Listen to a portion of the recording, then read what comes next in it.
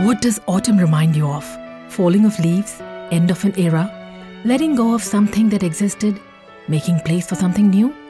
Or remembering those leaves that nurtured the trees once, the lives that used up all that they had to nourish their loved ones till they weren't needed anymore? Abandoning elderly parents is the ugly truth prevailing in the world of humans today. The trend is sadly on a rapid rise. The savior often is the few shelters that house these wretched souls with open arms.